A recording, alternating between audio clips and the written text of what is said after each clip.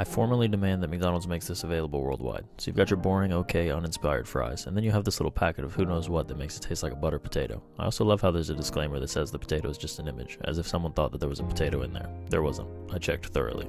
With just four easy steps, your week old car seat fries will be transformed into a gourmet treat that would make Gordon Ramsay blush. In goes the magic powder, and honestly, it took all the strength I had not to eat a fry just like this.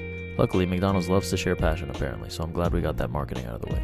I peered inside my treasure trove of gold to see that each and every fry was perfectly coated with powder that is delicious, but probably equals about 6 months worth of sodium intake. But now I'm hooked on it, and if you're looking for a way to spice up your McDonald's after eating it 6 days in a row because you're bored, this is your ticket in.